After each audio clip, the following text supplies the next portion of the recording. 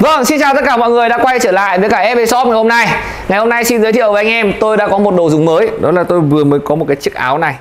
Đấy, Giới thiệu với anh em luôn, review trước luôn là Đây là cái à, logo mới của FB Sport chúng tôi. Đây của FB Shop chúng tôi. Đấy. Sắp tới là chúng tôi sẽ ra những cái sản phẩm à, được thiết kế và có cái logo này ở trên áo để à, anh em có thể mua sử dụng chơi cầu lông cũng như là chơi các môn thể thao. Đấy, đây là một cái hình rất là đẹp. Còn ờ, giới giới thiệu luôn đây là một chiếc áo của tôi sẽ ờ, có mặt trong cái giải đấu ờ, của KOL FB Shop lần này. Các vận động viên sẽ mặc cái áo này. Đấy, anh em nhìn thấy đẹp không?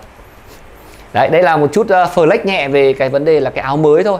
Nhưng mà hôm nay thì là ngày uh, trong tháng 9 trong tháng 9 này thì có rất nhiều những cái điểm nổi bật. Đó là chúng ta vừa trải qua một cái cơn bão mà khá lớn đổ bộ vào miền Bắc. Đó là bão Yagi. Ờ, cũng tiếp theo nữa đó là chúng ta tháng 9 đã gặp rất nhiều các anh pro. Đầu tiên là nói tới về vấn đề anh à, 16 Pro và 16 Pro Max cũng như là 16 bình thường. À, tiếp theo nữa là chúng ta phải kể đến một cái anh Pro mà được xuất hiện trong tháng 9 này mà được rất nhiều anh em lông thủ quan tâm và cũng như là là yêu thích. Ờ, pro là anh cao nhất thì xin giới thiệu với anh em hôm nay chúng ta sẽ đi uh, review cái sản phẩm uh, Pro mới ra mắt tới từ thương hiệu Yonex. Sản phẩm được rất nhiều anh em lông thủ quan tâm đó là Nano Flare 700 Pro. Phiên bản 4U và phiên bản 5U.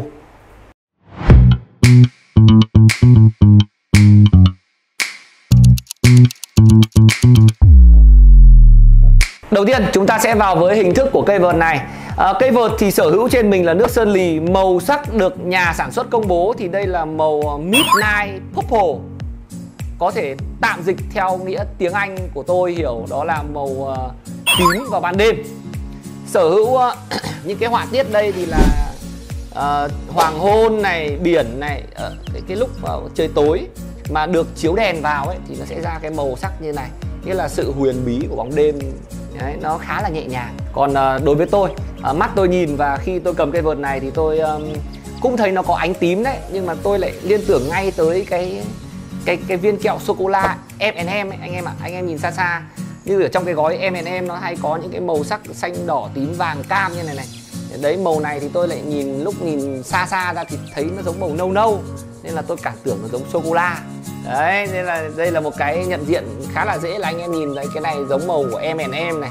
Đấy nó hơi nâu nâu tím tím một tí này là anh em sẽ nhận ra đây là Nano Flare 700 Pro. Để chúng ta nhìn vào đây là chúng ta sẽ nhận biết cây vợt này rất là dễ. Đó đó là tổng thể về cái phần ngoại hình và màu sắc của cây vợt à, Nano Flare 700 Pro này.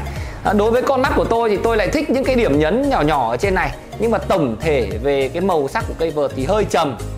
Tính tôi là phải thích những cái nó rực rỡ. Cái này hơi trầm nên là tôi chưa cảm thấy thích bằng những cái, cái sản phẩm vợt uh, Nano Flare được sản xuất đời trước. 700 được sản xuất đời trước à, vậy thì bây giờ nếu mà anh em uh, chưa hình dung ra thì tôi sẽ gọi những cái cây vợt uh, Nano Flare 700 trong túi uh, bao vợt của tôi ra để đây để so sánh với cả sản phẩm vợt này về số đo ba vòng để cho anh em uh, dễ hiểu nhất, dễ nhìn nhận nhất. Bởi vì là Nano Flare 700 thì không ít thì nhiều chắc chắn anh em đã ra sân và từng cầm đến nó thì uh, sẽ so sánh một cách uh, cho nó khách quan thế không thì lại có một mình cây Pro thì nó không chuẩn lắm. Trên bàn máy của tôi bây giờ là ba cây vợt Nano Flare 700 bản xanh dương Nano Flare bản 700 bản đỏ và Nano Flare Pro 700 à, Vậy đây là những cái cây vợt mà như là nó theo thứ tự đây là hai cây này thì à, ra đời trước cây này thì mới ra đời. Bây giờ chúng ta sẽ à, so sánh nó về cái phần à, chiều cao với số đo ba vòng xem có khác gì nhau không nhé đầu tiên là anh em chúng ta sẽ có một cái vành vợt. Cái vành vợt ở đây cái vành vợt ở đây thì tôi thấy cái ờ, 700 Pro của cái vành vợt lớn hơn. Lớn hơn so với cả Nano Flare 700 tiếp theo là cái góc chữ T.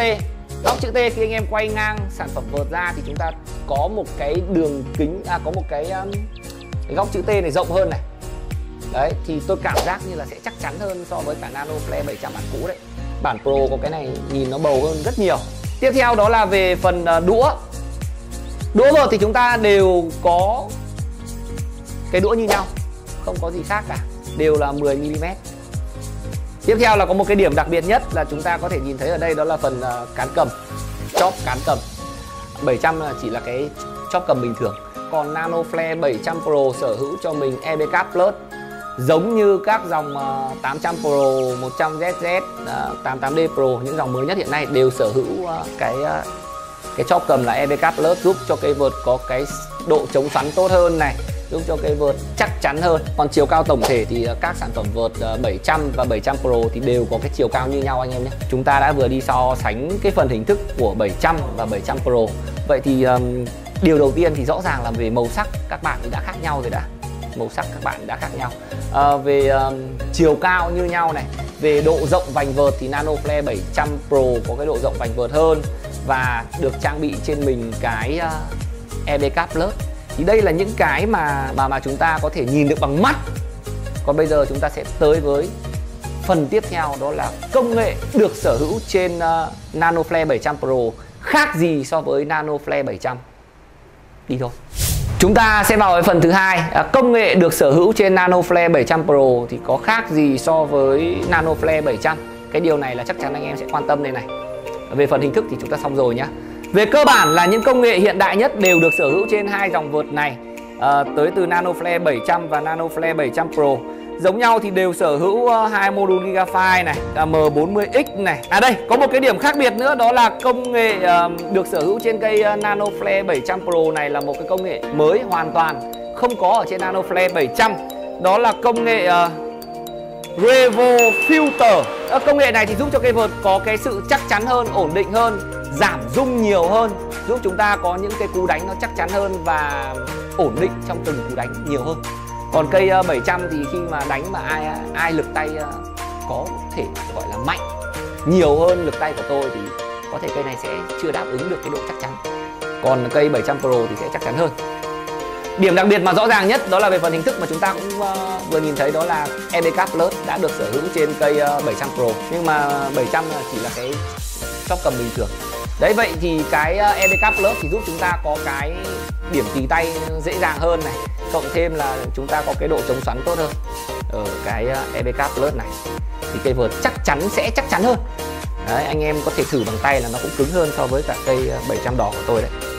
Cứng hơn tí. Còn một cái điểm nữa đó là cái điểm uh, hai cây vợt thì đều sở hữu trên mình cái công nghệ uh, Sonic Flare System nhưng mà cái công nghệ của cái Flare System, Sonic Flare System của 700 Pro là công nghệ được cải tiến nhiều hơn, giúp cái độ truyền lực tốt hơn. Đó là cây ờ, 700 ờ, Pro có cái độ truyền lực tốt hơn. Đấy là nhà sản xuất công bố thôi, còn tôi thì chưa biết. Tối ra sân thì mới cảm nhận được. Về cơ bản là không còn điểm gì khác. Về phần công nghệ, tất cả công nghệ đều giống nhau. Chỉ có là 700 Pro được thêm một cái công nghệ, đó là Revo Filter và trang bị cái EVK Plus. Vâng có một cái công nghệ nữa mà nhà sản xuất không công bố, đó là cái cái cái này này. Cái cái chỗ chữ T mà khi anh em nhìn ngang nó rộng hơn một chút. Thì đó là cái vành vợt của Nano Flare 700 đã rộng hơn rồi. Thì cái này thì tôi cũng chưa biết tại sao nó lại lớn hơn. Nó lớn hơn, thì có tác dụng gì? Cái này thì anh em nào có hiểu biết nhiều hơn tôi giải thích hộ cả.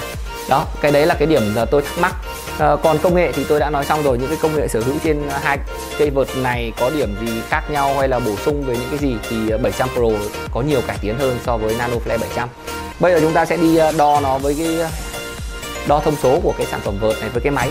Xem xem là 700 Pro như thế nào anh em nhé với 700 Pro chúng ta có hai phiên bản 4U và 5U Bây giờ chúng ta sẽ đi đo thông số của phiên bản vợt uh, 4U và 5U này. À, 4U cho chúng ta lực căng tối đa là 12.5 kg Và 5U cho chúng ta lực căng tối đa là 12 kg Bây giờ chúng ta sẽ tới với cây vợt 4U trước anh em nhé.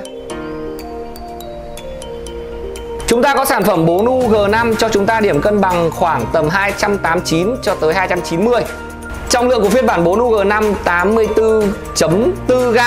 Phiên bản 4U G5 cho chúng ta điểm swing là 82 Swing của phiên bản 5U là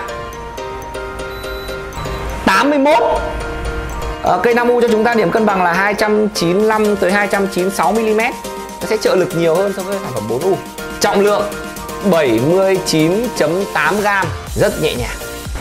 Với thông số chúng ta vừa đo như vậy thì tôi chả phải nói nhiều với cả dòng flare này rồi. À, cây 4U đó là sẽ là một cây vợt của tôi chơi. Sở hữu cái điểm cân bằng 289 290 uh, swing 82 và trọng lượng khoảng 84 85 như vậy thì tôi nghĩ là khá hợp với tay tôi bởi vì tôi là một người không thích ờ, công quá nhiều. Không thích công quá nhiều đâu.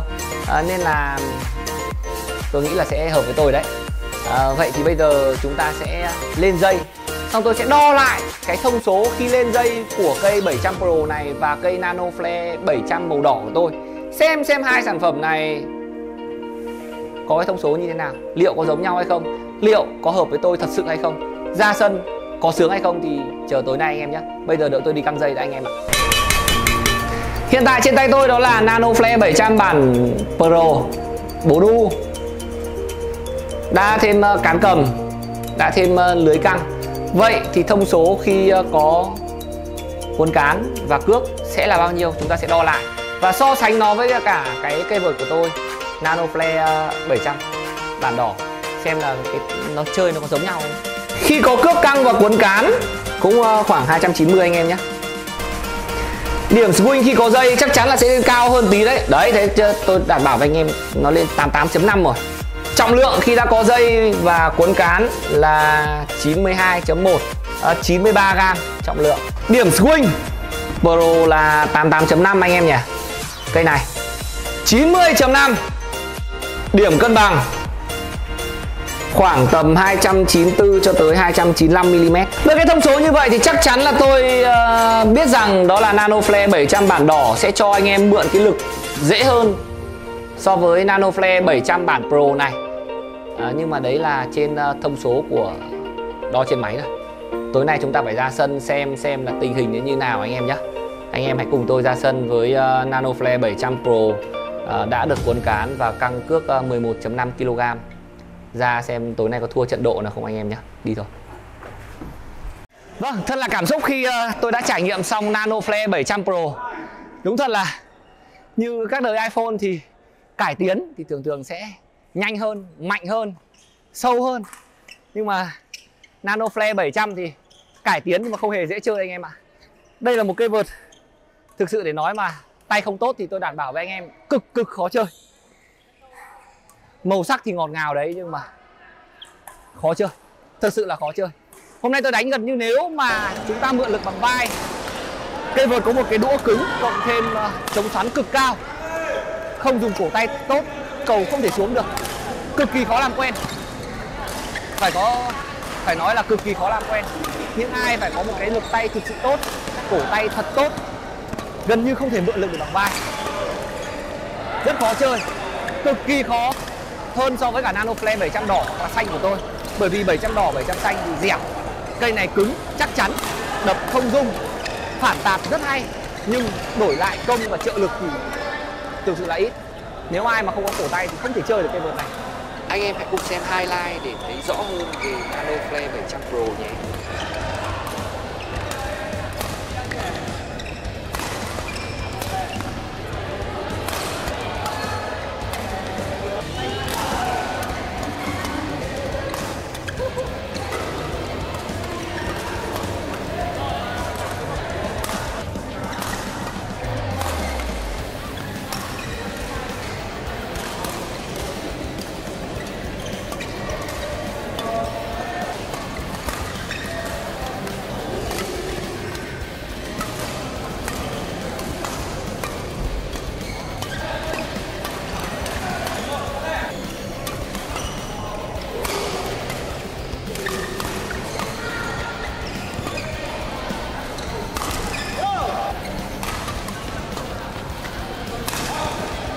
Bây giờ tôi sẽ đưa cái điểm số khi đã trải nghiệm Nano Flare 700 Pro cho anh em. Về điểm số tấn công, Thực sự khó tấn công, Rất khó tấn công. Anh em phải à, có một cái tay thật tốt nhá. Tôi chấm à, 6 điểm 8 Lần đầu tiên có cái điểm số như vậy nhưng mà Chưa được 7 điểm đâu 6.8 trên 10 thôi. Công rất khó. Anh em mà không có cổ tay tốt thì công thực sự là không thể xuống cầu được, Không thể có uy lực được về điểm phòng thủ và phản tạt thì hay công nhận là rất hay. Cây này đánh phòng thủ phản tạt lỏng cũng được tạt nhanh cũng được đi cũng được. Gạt đều nhanh đều chắc chắn đều điểm rơi rất là chính xác. À, tôi chấm ờ, phòng thủ phản tạt của cái vợt này ờ, 9 điểm rưỡi trên 10 rất hay. Đối với tay tôi. Cuối cùng là phần phong phông cầu và trái tay. À, cái này thì tôi sẽ phải chia ra làm hai nhá. Phông cầu thì cây này phông rất ok. Anh em cầm xuống dưới. Dùng một chút cổ tay thôi phông rất ok. Nhưng trái tay trái tay thì uh, sẽ khó hơn rất nhiều. Nếu anh em không có một cái cổ tay vững chắc. Phông cầu tôi chấm ờ, 9 trên 10 còn uh, trái tay anh em uh, vẫn có một cái cây vợt nhẹ linh hoạt trái tay tốt nhanh. Nhưng nếu mà ai không có cái cổ tay tốt thì uh, cầu nó sẽ không xa. Đấy ví dụ uh, phông uh, cắt lưới các thứ thì rất ok nhưng mà phông để muốn cầu đi bay xa hơn tới cuối sân thì uh, chưa được. Tôi chấm 8 trên 10 cho phần trái tay. Để về so sản phẩm này với cả hai sản phẩm tiền nhiệm đó là Nano Flare 700 màu xanh và Nano Flare 700 màu đỏ thì cây vợt này có nhiều cải tiến hơn chắc chắn hơn ít rung hơn à, nhưng mà khó chơi hơn. Và được một cái nữa tôi đảm bảo với anh em đó là cây này chắc chắn sẽ khó gãy hơn bởi vì là cái khung của nó chắc khỏe chắc chắn là sẽ khó gãy hơn. Nhưng mà phân cấp người chơi rồi mà à, các nhà các nhà sản xuất người ta luôn luôn muốn những cây vợt à, sau ra thì sẽ dành cho những người chơi tốt hơn, có cái lực tay mạnh hơn. Nên là cây vợt này tôi nghĩ là anh em ờ, mới chơi thì sẽ chưa làm quen được đâu. Mới chơi thì tốt nhất anh em vẫn ờ, Nano Flare 700 xanh và đỏ nhé còn ờ, anh em nào chơi thực sự tốt thì hãy để ý đến 700 Pro. Đấy là trải nghiệm của tôi. Không biết là anh em nào đã chơi Nano Flare 700 Pro rồi. Có cảm nhận giống như tôi hay không? Chắc chắn là các anh em đã từng chơi Nano Flare 700 xanh hoặc đỏ. Còn 700 Pro thì tôi sẽ là một trong những người đầu tiên đấy à, nếu thấy clip hay thì hãy chia sẻ cho mọi người cùng biết. Nhớ like subscribe youtube web shop và nhớ nút chuông để đón chờ những clip khác nhanh và sớm nhất tới từ đội ngũ chúng tôi. Xin chào.